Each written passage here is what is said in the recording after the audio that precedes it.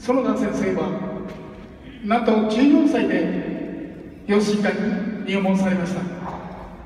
その合気道人生は今年で55年になります。国内外において指導活動をされておられますがその弓道の歩みはとどまるところがありません。園田先生の演舞をどうぞ。ご覧いただきたいと思います。